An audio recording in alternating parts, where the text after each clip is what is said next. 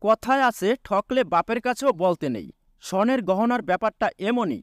আপনি যদি ঠকে যান, সেটা আপনার ব্যর্থতা। আপনি স্বর্ণের গহনা চিনে আনতে পারেননি।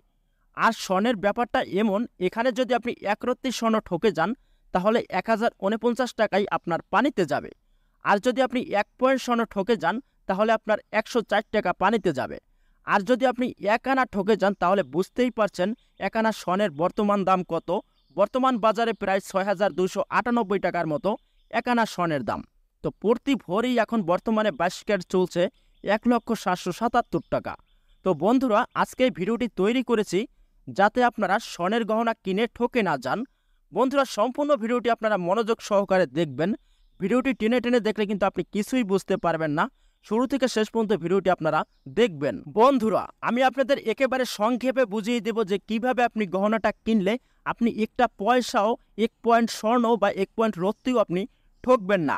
বন্ধুরা, প্রথমত হলো আপনি যে গহনাটা কিনবেন, সেই গহনাটা বাইশ ক্যারেট কিংবা একুশ ক্যারেট স্বর্ণের গহনা কিনবেন। আর এই দুইটার মধ্যে যে কোনো একটা ক্যারেট আপনি কিনবেন।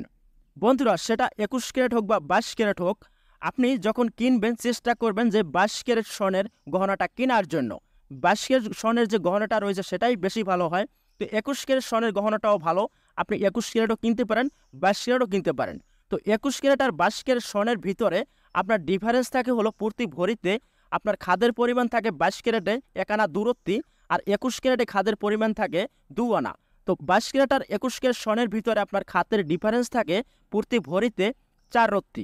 চার বলতে আপনার বাইশ ক্যারেটে আপনার চার রত্তি খাত কম থাকে আর একুশ ক্যারেটে চার খাত বেশি থাকে। তো এই চার রত্তির ডিফারেন্স থাকে আপনার বাইশ ক্যারেট, একুশ ক্যারেটে।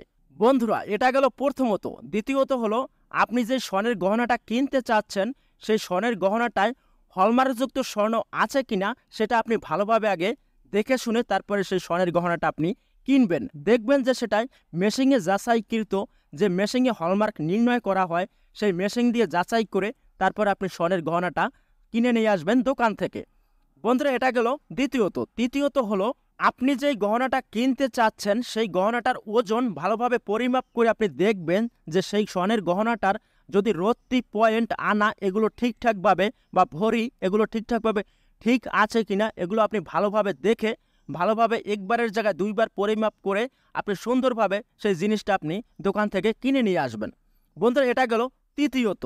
চতুর্থ হলো, যখন আপনি স্বর্ণের দোকানে গহনাটা কিনতে যাবেন, তখন আপনি ভালোভাবে আপনি দেখবেন, খেয়াল করে যে স্বর্ণের দামটা কত চলে। যখন আপনি কিনবেন, তখন রেটটা কত রয়েছে প্রতি ভরি স্বর্ণের, সেটা আপনি হিসাব করে দেখবেন।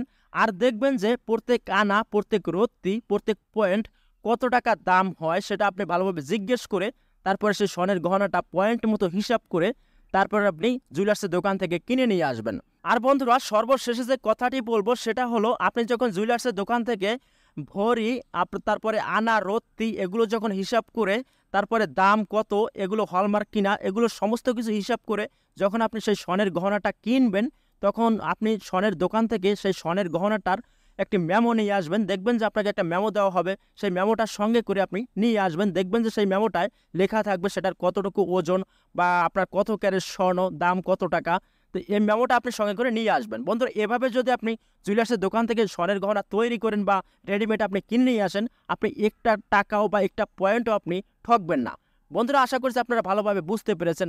আর স্বর্ণের যে আপনার হিসাবটা, সেটা যদি আপনারা না জানেন যে কত আনা এক বড়ি হয় বা কত রতিতে এক আনা হয়, এগুলো যদি আপনি হিসাব জানতে চান, আমাদের চ্যানেলে আরও ভিডিও দেওয়া রয়েছে। আপনি সেখান থেকে দেখে নেবেন। আর বন্ধুরা, ভিডিওটি যদি আপনার উপকৃত হয়ে থাকে, অবশ্যই এটি লাইক করে দিবেন। আর আপনি যদি আমাদের চ্যানেল নতুন হয়ে থাকেন, চ্যানেলটি সাবস্ক্রাইব করে রাখবেন। আর যদি কোনো কিছু বুঝতে আপনার অসুবিধা হয়, তাহলে আপনি আমাকে কমেন্টে যোগাযোগ করবেন যে কোন কথাটি আপনি বুঝতে পারেননি। তো বন্ধুরা, আজকে এ পর্যন্তই। তো ভালো থাকবেন দেখাবেন নেক্সট ভিডিওতে ধন্যবাদ।